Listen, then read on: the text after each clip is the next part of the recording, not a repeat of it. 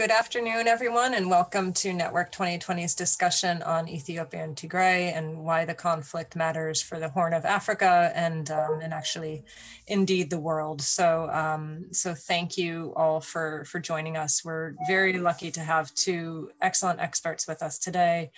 Um, before I introduce them, I will just say a few words about Network 2020 for those of you who don't know. So we are a nonprofit organization based in New York, and we're really um, focused on bridging the gap between the private sector and the foreign policy worlds. And we um, we leverage entrepreneurial, established and emerging leaders um, to drive innovative research and solutions critical to impacting foreign policy challenges. So that means a number of different things. We run educational programs like this virtual briefing series, as well as on the ground research um, and, uh, and other programs as well. So please take a look at our website and follow us on all those social media as well.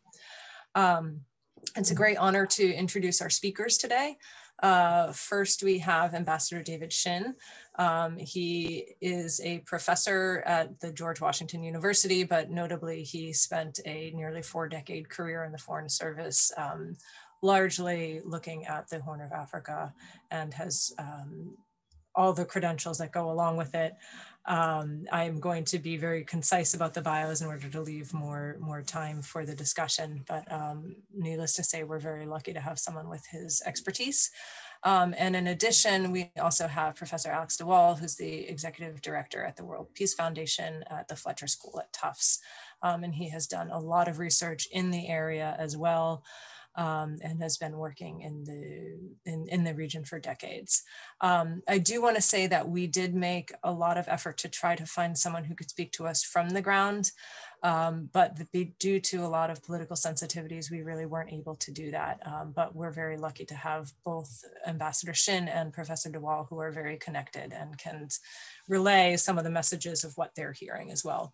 Um, we're also fortunate to have uh, Joanna Waszczowski to moderate this conversation conversation. She's a long-term Network 2020 member um, and is has done work in numerous aspects of foreign policy over the years. And so she will be guiding us through this conversation. Um, so with that, I will turn it over to you, Joanna, with a big thanks to Ambassador Shinn and Professor de Waal. Thank you so much, Courtney. So today we will be discussing with our panelists the role of Ethiopia in the Horn of Africa and specifically the crisis in its Tigray region. We will explore the roots of the conflict, what is happening on the ground, what are likely outcomes, and how the conflict could impact Ethiopia's neighbors. In 2018, Prime Minister Abiy was celebrated for signing a peace agreement with Eritrea, ending a 20 year border war, and for releasing prisoners.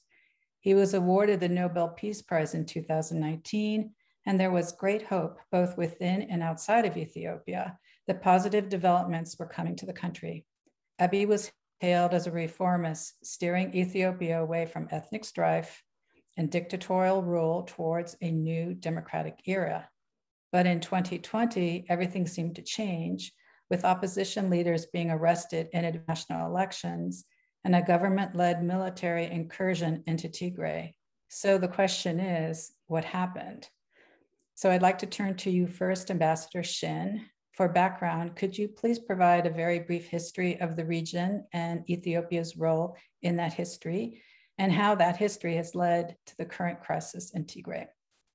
Sure, happy to do that, Joanna. I'm going to pick it up in 1974 and, and very quickly uh, bring it up to the future. 1974 was the end of the imperial government in Ethiopia, where Emperor Haile Selassie was overthrown by a military junta the U.S. had very close relations uh, with Haile Selassie, was replaced uh, by ben- Mengistu Haile Mariam eventually, who was in charge of the military group.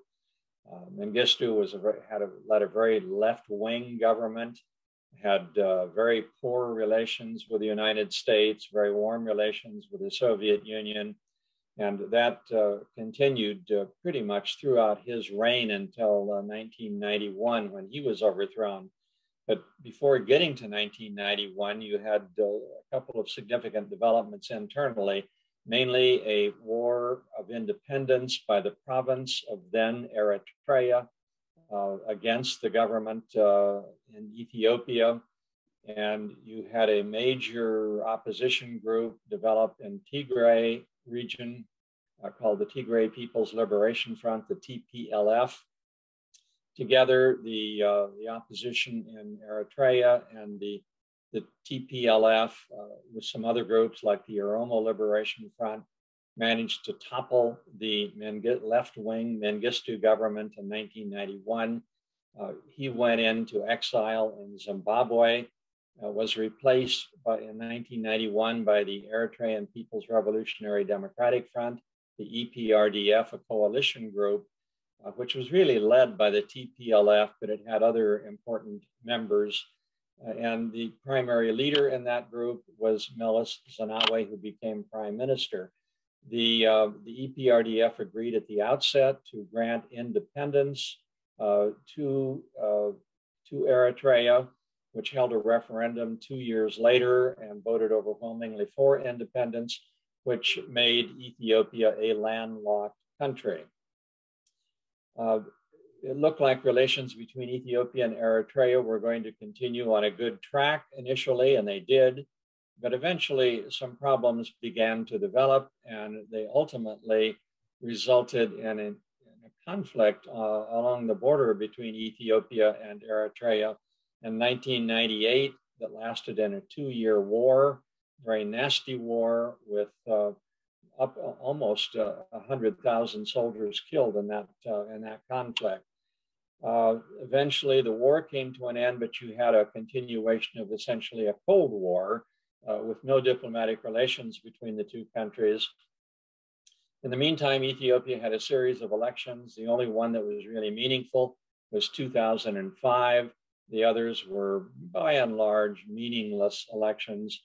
Uh, Meles Zenawi, the leader, died of natural causes in 2012. Uh, you had a, a new uh, civilian government come into place and then yet another one in 2018, led by Abiy uh, Ahmed, the current uh, prime minister of Ethiopia. Uh, you had the TPLF sort of pulling back its power just into Tigray region. They realized that they were on the outs with the new government led by Abiy Ahmed. They held separate elections in Tigray. Uh, in uh, September of uh, 2020, the elections were won by the TPLF and were followed uh, in a couple of months later in November by an attack on the uh, government's northern command in Mekelle, the capital of Tigray, by uh, the TPLF. And that was sort of the, the spark that began the current war that uh, that broke out and is still continuing as a guerrilla conflict today. And I'll stop it there. Uh, that sort of covers a lot of history in a very brief period of time, but uh, I think that brings us up to the present. Great. Well, thank you so much. So, um, Alex, uh, if I could ask you, what is the current situation in Tigray, and what factors have led to the humanitarian crisis in the in the area? So, as um, Ambassador Shinn uh, pointed out, um, a war broke out in, in, in November. Prime Minister Abiy promised this would be a very short war. Um, he said 10 days to a few weeks. And the first phase was indeed very swift. There was a, a, a joint offensive by the Ethiopian um, Defense Forces and the Eritrean Defense Forces that captured the, the, the major city, Mekelle.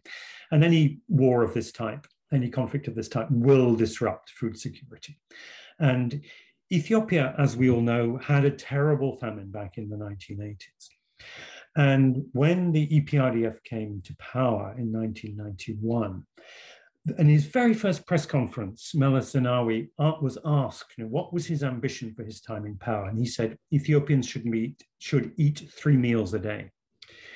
And for all its many failings, the EPRDF government actually achieved that. So that six years ago, there was a, a major drought in the country, 20 million people in need of, of, of food assistance. And the then deputy prime minister, man called Demeke Mekonnen, as, as part of the EPRDF, led what was an extraordinarily effective uh, emergency relief response, 70% of which was funded by the Ethiopians themselves. So we had a, a food crisis on a scale bigger than anywhere else in Africa that was successfully managed. And at the onset of the, the conflict seven months ago, Ethiopia as a whole, and Tigray in particular, were food secure. This entire very sophisticated system was intact. It was comprehensively dismantled. It was disrupted by the war, but the key factor was a campaign of starvation crimes committed by the government forces, by the Eritreans, and by the militia from neighboring Amhara region that overran substantial parts of, of, of, of, of the Tigray region, parts that were contested. And there are reasons why one can say this land belongs to this side or that side. But the manner in which the Tigrayan population was driven from those areas generated a humanitarian crisis. So we have the crimes of, of pillage, massive looting, dismantling universities, ransacking factories, farms, shops, hotels. We have the war crime of starvation, which is defined under the Rome Statute of the ICC as destroying or rendering useless objects indispensable for survival. So this includes food. It also includes water. It also includes medical facilities. Something like 70% of the medical facilities were either ransacked or vandalized, and only less than 15% now are actually fully functional. Crops have been burned, you know, livestock have been slaughtered. Troops are going out into the villages and telling farmers, you will not plow, you will not cultivate, you will not harvest, we will punish you if you do. And, and, and, and so starvation is, is not just a byproduct of the war, it is actually the chief weapon that is being used um, in this war. And another object indispensable to survival for children is maternal care. And we are seeing a, a massive amount of rape and sexual violence. And a survivor of rape is unable to care for herself properly or her children. And we have tens of thousands of unaccompanied children whose mothers are either in captivity, held as sexual slaves by the forces, or are recovering in hospital or in, in, in um, safe houses, or we simply don't know where they are. And even those mothers who have survived, imagine the anguish of knowing that their young children are not properly being cared for. They don't know where they are. So we have these starvation crimes.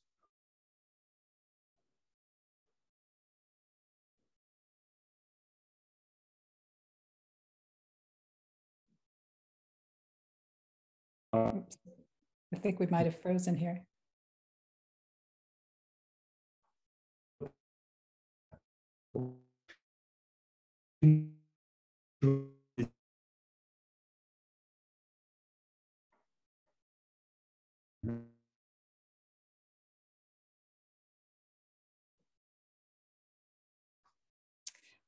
Uh, so while we uh, while we try to um, get Alex back online, if I can, uh, if I can uh, speak to you, um, Ambassador Shinn.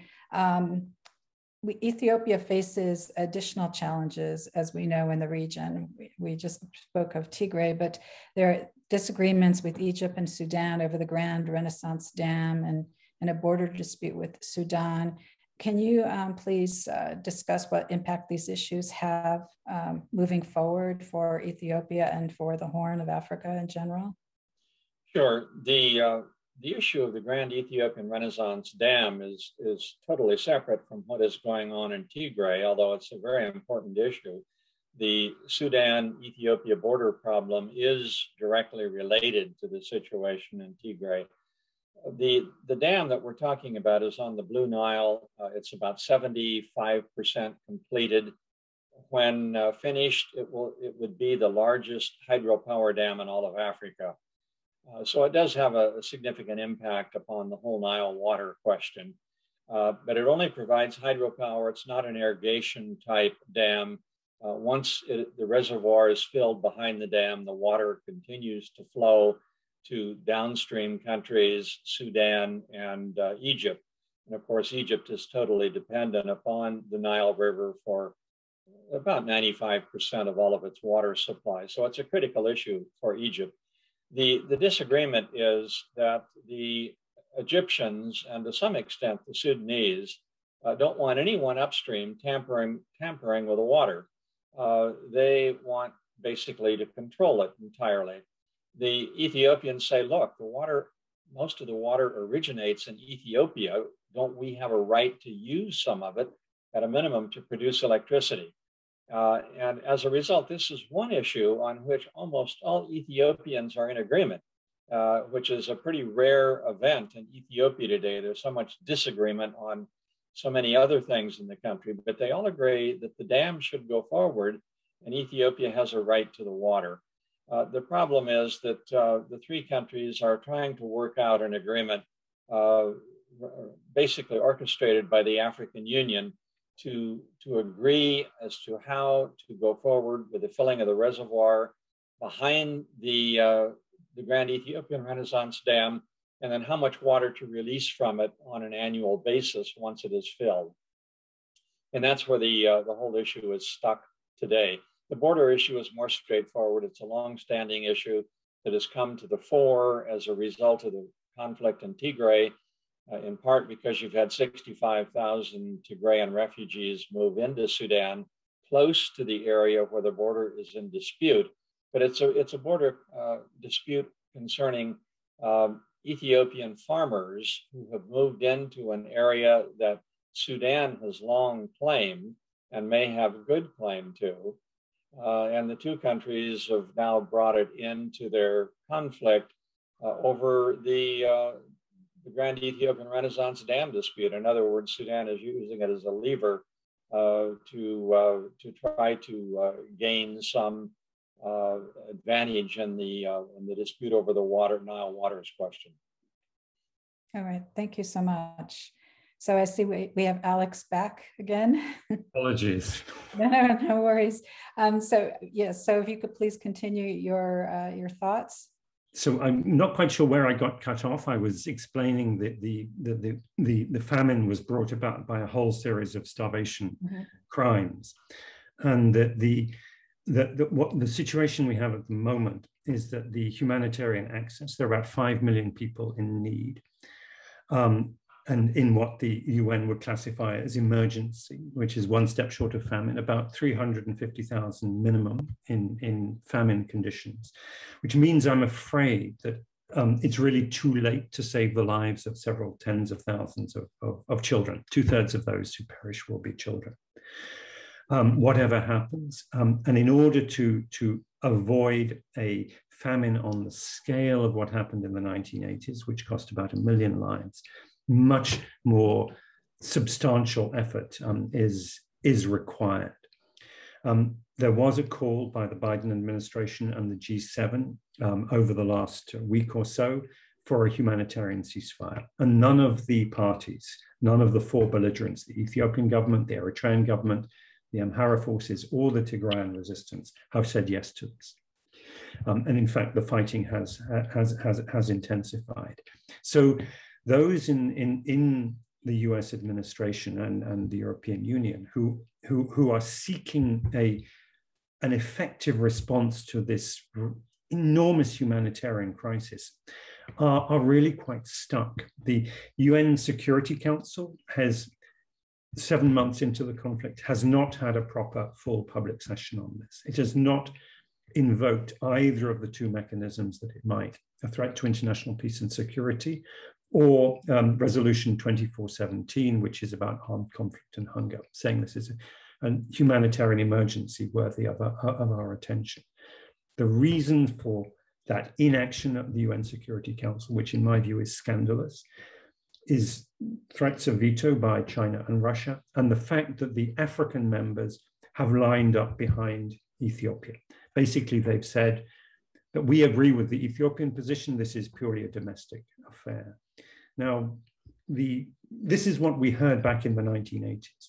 This is what we heard when governments like Rwanda were per perpetrating genocide, when the Mengistu regime back in the 1980s was starving its own people. And it was in response to this that the Africans developed their own norms and principles. And the, the United Nations adopted the responsibility to protect and so on. And it is desperately sad, worse than sad, to see the, these fundamental norms being, being essentially torn up today. Is there anything that the international relief organizations can do? Um, I know access is being pretty much denied, um, what I have read, um, to that region, but is there anything they can do? They, at the moment, they are reaching a, million, a million and a half people, which is, um, you know, a minority. Um, they are short of funds, but principally they they are short of that key political agreement um, that is needed. And without um, a commitment by the Ethiopian government or the Eritrean government, without a withdrawal of the Eritrean forces, which is what the Biden administration and others have called for, um, without some form of, of, of agreement that the lives of these civilians, especially these, these children, should be a priority over the political objectives or the military objectives of the parties, um, the humanitarians really can do very, very little. Mm-hmm. And then, uh, Ambassador Shinn, if I could ask you, what is Eritrea hoping to gain from their actions in, uh, in Tigray? Uh, quite frankly, I think that the, the government in Eritrea would like to use this situation to essentially crush Tigray. Um, the relationship between Tigray and, and, Eritrea has been poor for a long time. And I think uh, President Isaias in, uh, in Eritrea sees this as an opportunity to perhaps even try to take the lead role uh, in this uh, Ethiopian Eritrean sort of condominium that, that is developing. But the immediate goal is, um, is to essentially um, be sure that the Tigray never becomes a, a potential threat to uh, the future of, of Eritrea. Uh, you had a lot of Tigrayan, um, uh, or excuse me, you had a lot of Eritrean refugees that were residing in Tigray region before the conflict broke out. And the first thing the Eritrean uh, forces did was to go to those uh, Eritrean refugee camps and, in one case, destroy it and either take back to Eritrea some of the refugees or force them to disperse around, uh, around Ethiopia, uh, which I thought was a rather telling development in terms of what Eritrea is trying to accomplish there. All right, uh, thank you. And then this question is really for both of you. The national elections that were postponed from October 2020 will be held in a few days, uh, but not in Tigray. And what do you think the likely results will be? And will Prime Minister Abiy remain um, Prime Minister?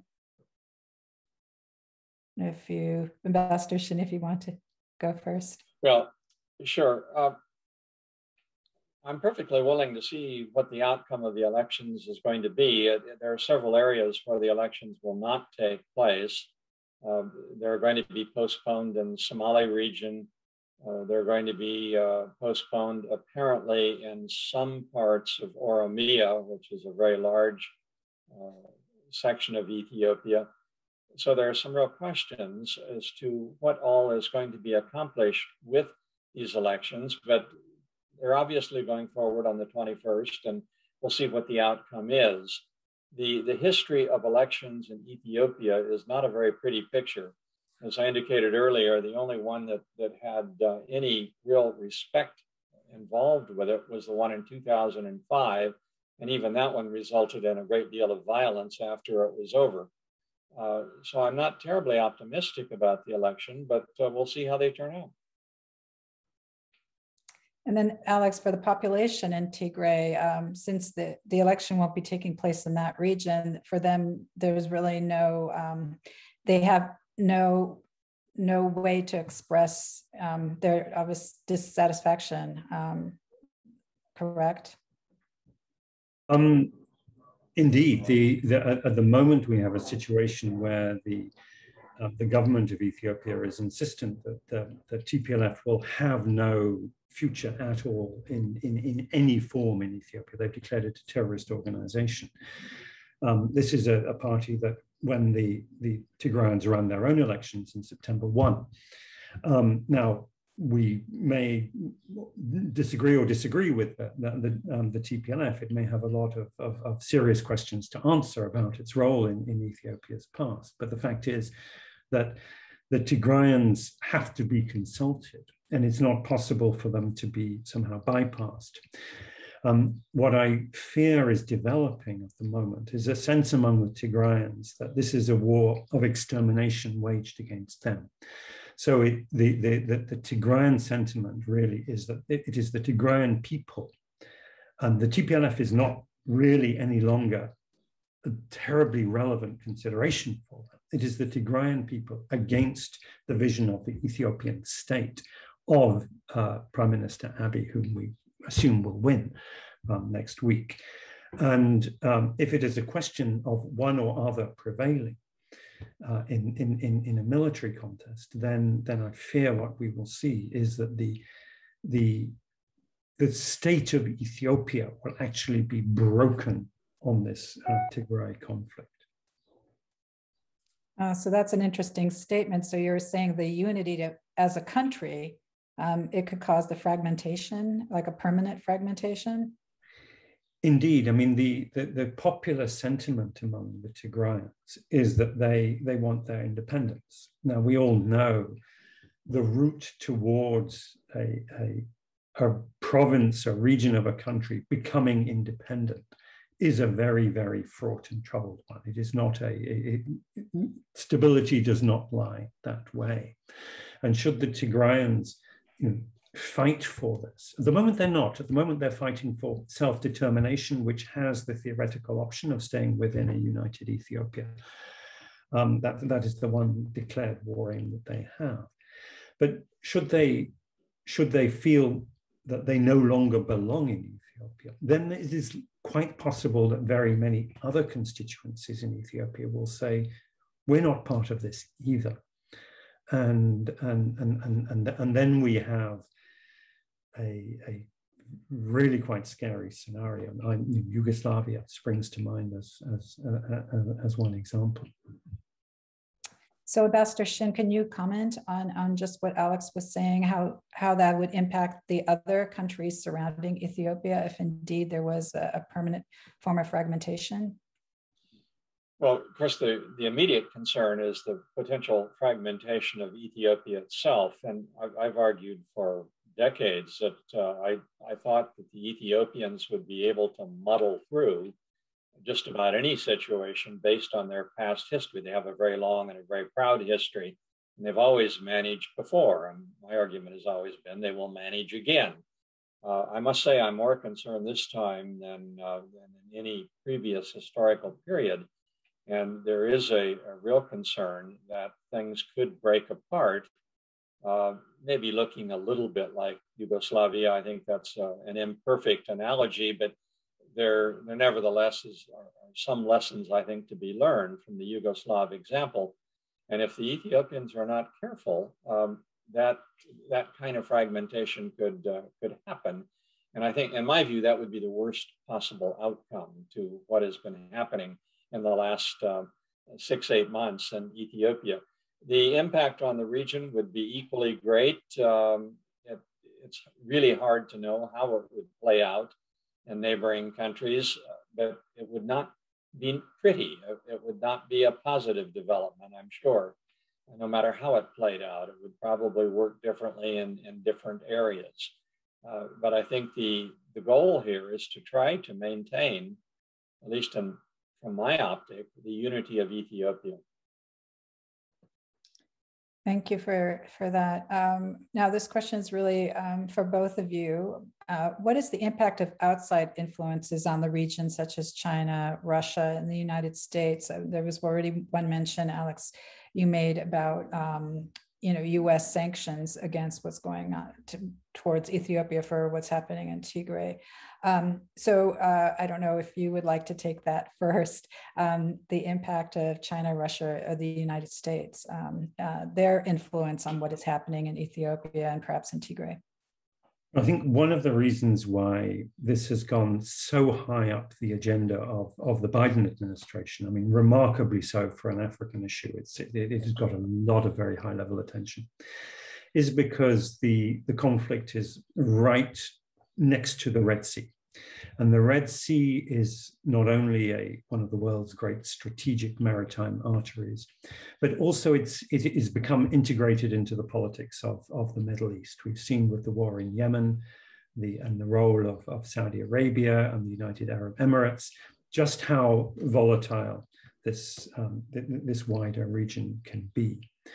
And it is, it's of great interest to China because if you look at the Belt and Road Initiative, if you like, the, the, the Red Sea is, is the buckle on the belt. And, and so the Chinese, they have a, a, they've invested heavily in Ethiopia in the past, and they have a, have, a, have a strategic interest in this area.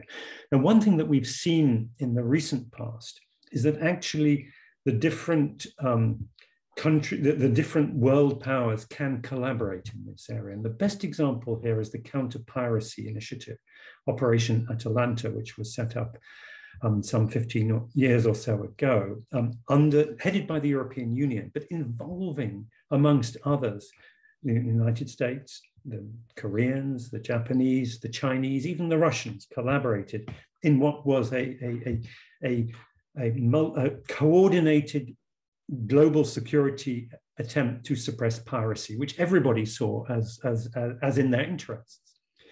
And if it were possible for there to be a consensus too that this type of destabilization of the region is in nobody's interests, then I think there would be a coming together internationally.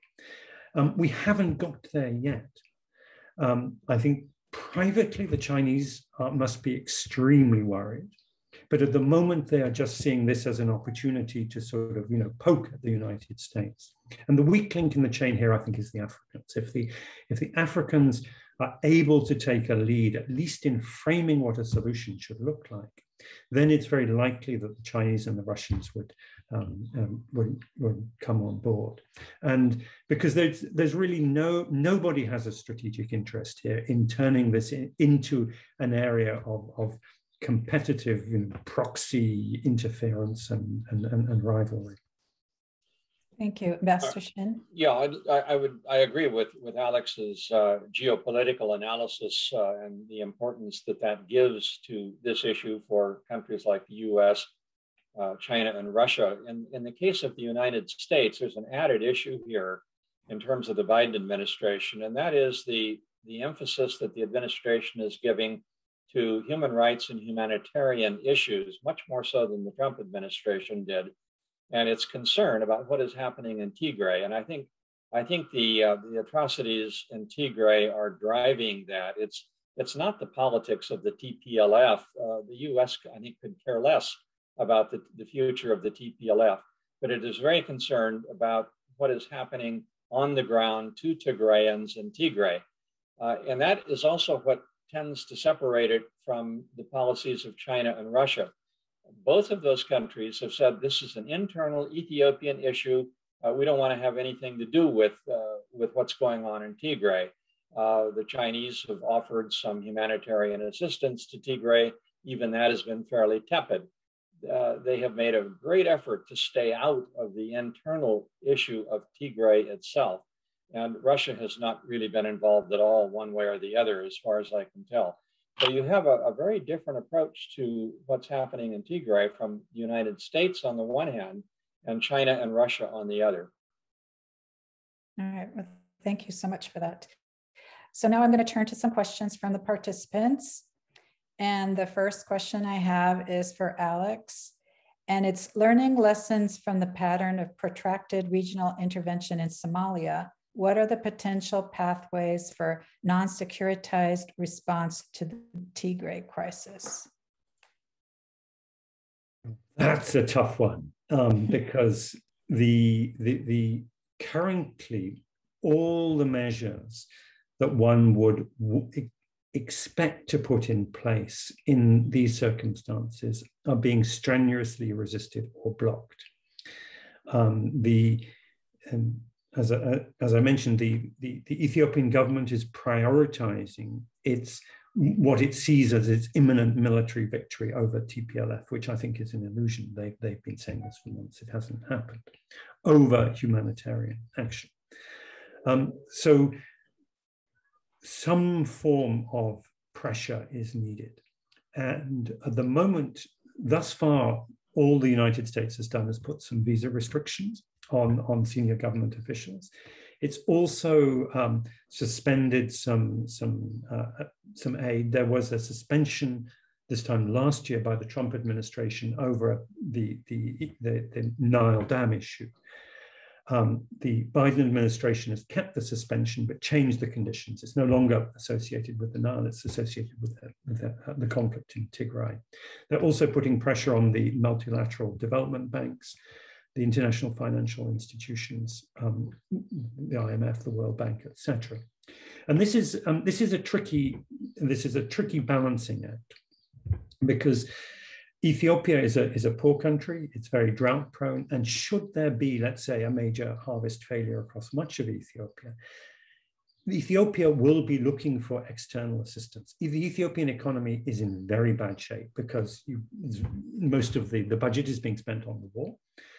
And the, the, the, the war and other issues of insecurity are, are having a major dampening effect on, on what was an economic success story. It's becoming increasingly perilous. So that if we had a situation like 2015 with you know 15 um, million people also in need of food assistance, um, it would be the major donors who would be forced to step up. Ethiopia would not be able to handle that as it was able to until a, a, a, few years ago.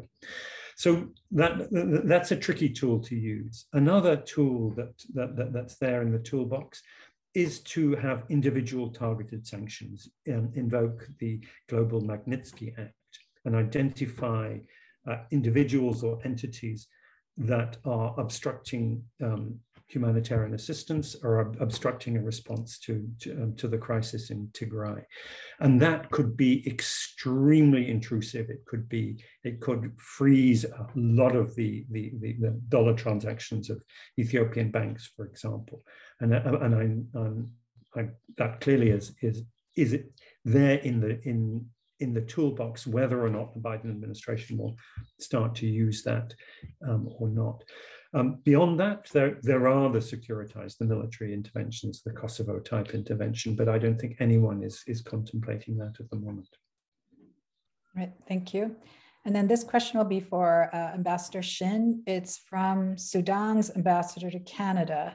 Um, how can you foresee future relations on the short term among Sudan, Ethiopia, and Eritrea with developments in the turbulent region, such as the Tigray crisis, GERD, and the border issue between Sudan and Ethiopia, and to what extent the Horn of Africa will be affected?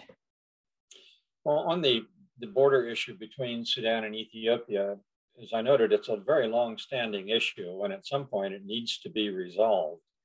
Uh, there were efforts actually to bring that uh, issue to, a, to an end uh, during the previous government. Uh, unfortunately, it didn't quite get entirely dealt with. And there probably is a reasonable compromise that can be worked out uh, that will allow the Ethiopian farmers who have been farming that section of what Sudan claims, perhaps to continue farming there, but um, perhaps uh, come to some kind of an agreement that maybe it's not Ethiopian territory, or at least to decide where the boundary runs. That's really the key. The, the situation between uh, Sudan and Ethiopia was actually quite cordial uh, until the conflict in, um, in Tigray broke out and you had this growing dispute over the Grand Ethiopian Renaissance Dam. You had pressure from Egypt on Sudan, uh, on Sudan to support the Egyptian position. And I think the Sudanese saw this to some extent as an opportunity to use the leverage of um, the, the, the, water issue to uh, gain advantage on the border problem with Ethiopia ultimately, there is every reason for Sudan and Ethiopia to have a, a cordial relationship. Uh, the dam can be used to sell electricity to Sudan. It can be used to control flooding, where the Blue Nile meets the White Nile in Khartoum uh, during the rainy season. If the water is controlled properly at uh, the Grand Ethiopian Renaissance Dam, there's every reason in the world to have a cordial relationship between Sudan and Ethiopia. And quite frankly, I expect that eventually to be the outcome. But it's all gotten confused uh, in the last uh, year uh, as a result of the outbreak of conflict in Tigray and pressure by Egypt on Sudan uh, to follow its lead on what to do about the water issue. If I could jump in, yes, please. jump in here, there's, yes, please. I think a, a key factor here is Eritrea the um, the Eritrean leader Isaias Afwerki is is is in if we put dictators on a spectrum, he is right at the far end. He has he rules a country essentially as his personal property, as his personal garrison. He has no constitution, no rule of law, no political parties, no elections, no media. Really, the only institution that functions there is, is, is the army security apparatus. And um, school leavers in Eritrea go into indefinite military service. And they are brutalized, traumatized in their training. Has a huge army. And the um, Abiy Ahmed won the Nobel Peace Prize for making peace with this man. But when the peace was made, you might have hoped for a liberalization, a demobilization of Eritrea. The threat had gone, but not at all. It was what it what it the consequence was that sanctions on Eritrea were lifted, and he used those that opportunity for rearming.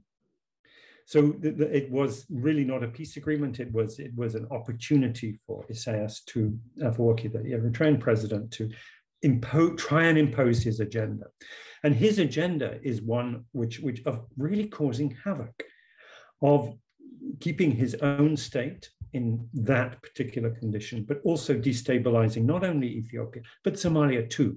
He was training special forces for the Somali president in Eritrea with the aim of encouraging the Somali president to dispense with elections, to sustain himself in power, to crush um, regions of Somalia that, that wanted to retain their, their federal quasi-autonomous status.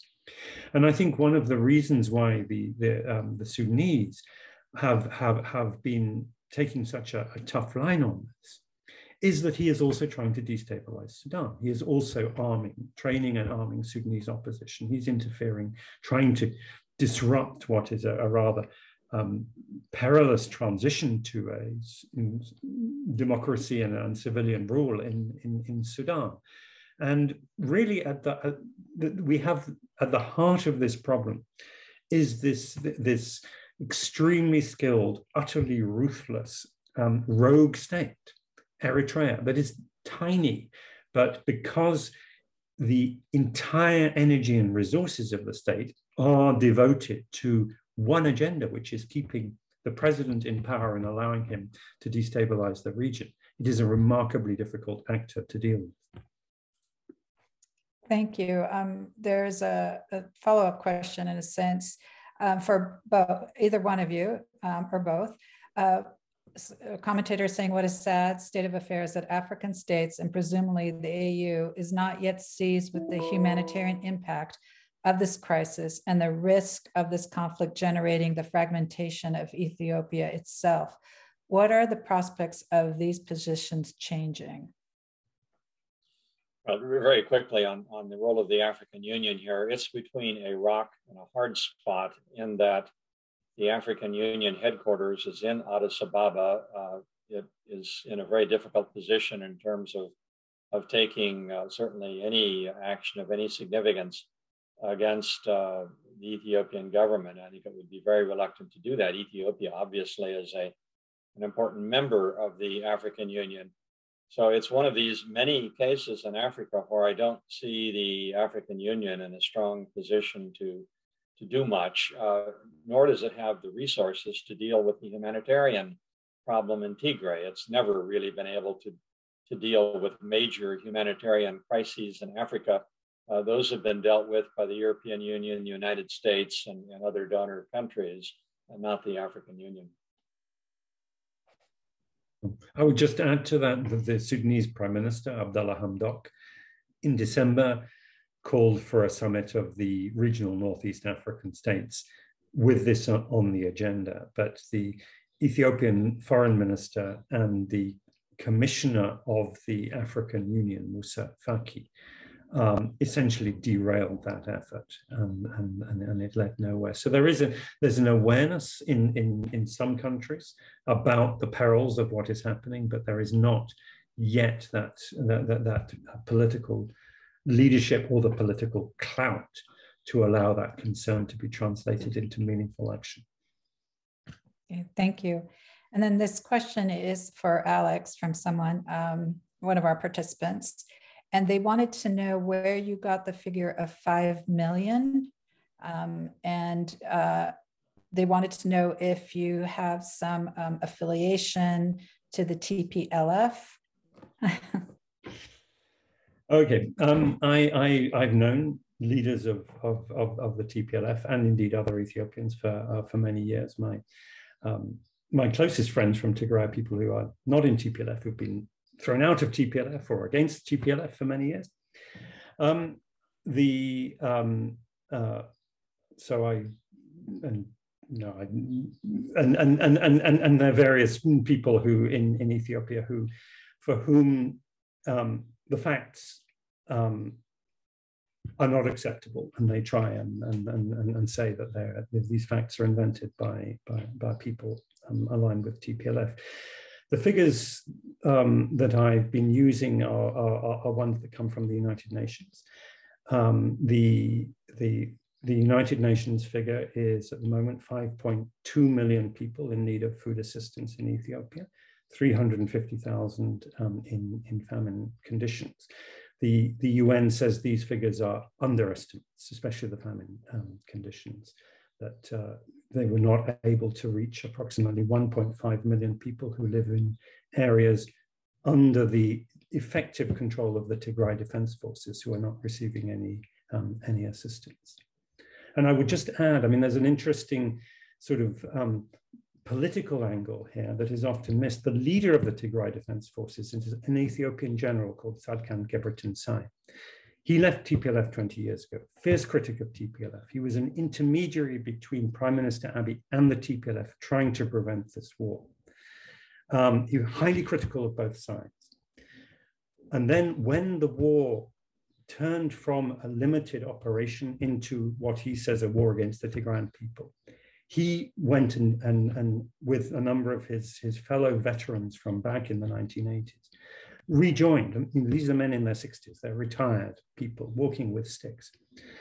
And um, they and, and and and the they are the ones who are actually mobilizing the resistance. The TPLF is is is is is only part of this. It is essentially a, a mobilization of the of men of the Tigrayan people who feel that they they are being systematically shut out of any role in Ethiopia. That the prime minister sees Tigray as somehow just a, a, bump on the road to a greater Ethiopia, and that you can dispense with these five million people. And that is, is, is, is quite a terrifying prospect. And that is why you know, people such as, as, as General Tsadkan, who, who is a, you know, a national figure, he's a Tigray, but a national figure, are now you know, the, those who are actually leading the, the, uh, the Tigrayan resistance.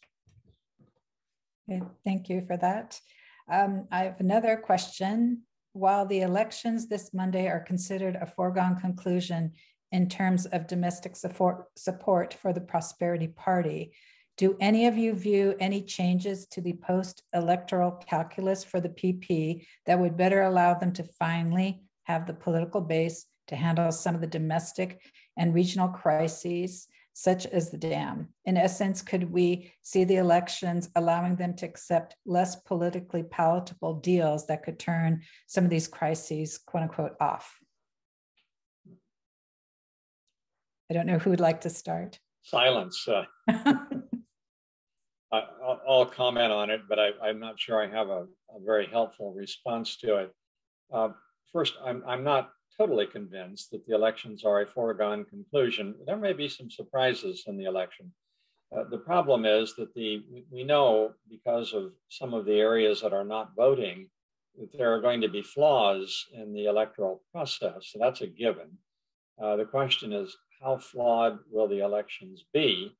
And if there are flaws that can be rectified in the uh, in the short term, uh, then that's not all bad. But I don't think we really know how these elections are going to turn out. I think a lot will will be told in terms of the percentage of turnout.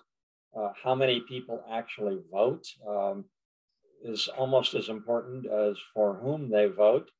Uh, so we could have a lot of surprises all the way around here. Uh, I, am not expecting a great deal uh, and on the positive side of the ledger, but I would like to be very pleasantly surprised. All right. Um, another question, is there the possibility that the border dispute between Ethiopia and Sudan affect the UN peacekeeping mission in Abyei as all the forces come from Ethiopia? If yes, can this lead to conflict with South Sudan and Sudan again? Alex, would you like to take a? So there are a couple of issues here. One, one actually is uh, the issue about the status of Ethiopian forces in peacekeeping operations in general, because there is a human rights due diligence that has to be done for a country to, to provide troops for peacekeeping. And Ethiopia um, has been the major troop contributor to, to UN peacekeeping operations. But um, that's now under review because of the level of abuses in, in Tigray. So Ethiopia faces the scenario that Sri Lanka did some um, 13, 14 years ago, where it could be debarred from peacekeeping. So there would be no Ethiopian peacekeeping at all, because the UN would simply determine that the Ethiopian army does not have a good enough human rights record. And we are headed that way very, very fast. There's a second aspect here, which is that you have Ethiopian troops of Tigrayan origin in these peacekeeping operations, some of whom have already sought asylum. So that those in a number of those in Abyei have already sought asylum in Sudan.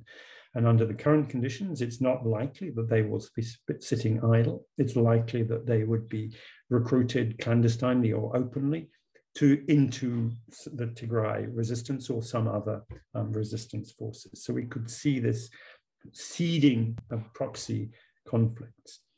And then there's the, the, the, the specific question of whether the, um, the withdrawal of, of, of the, the peacekeeping force in Abyei um, would lead to conflict between Sudan and South Sudan. And I would just say one thing on that, which is that, that relations currently between Sudan and South Sudan are pretty good. Um, relations between the communities in those areas are perhaps not so good. So there is some need for peacekeeping, but probably not the level that was um, that it was a few years ago. I, would only add that you actually have three UN peacekeeping operations in Sudan. One is in Darfur, which is coming to an end. I believe it will shut down by the end of June. So that issue basically disappears. Uh, Alex described the situation in Abyei, Abyei, which is almost exclusively Ethiopian forces. And then you have a third uh, UN peacekeeping operation in South Sudan. And I believe there are Ethiopians that are assigned to that operation also. Uh, and the whole Tigrayan question would get into that.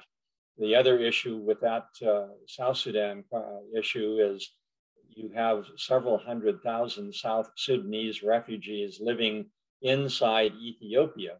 Uh, you actually have more uh, Sudanese refugees in Gambela region and you have resi- Ethiopian residents of Gambela living in Gambela.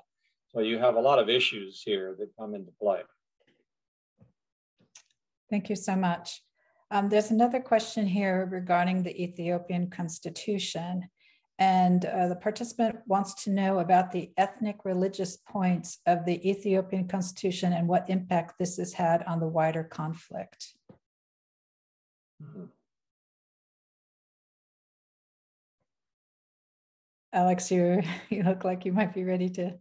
Um, this is the, the, this is one of the most contentious issues in Ethiopian politics. Actually, not the religious issue, but the, the, the ethnic issue.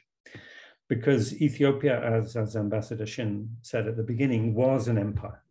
It was uh, a, a, a, conquest state in which a certain military, martial, feudal aristocracy over, you know, overran, conquered, subjugated other peoples. And the, the question about the equality of or the status of these different cultural, linguistic, ethnic groups in Ethiopia was one of the factors that led both to the revolution and then to the wars against the, the Marxist regime in, in, in, in the 1970s and 1980s.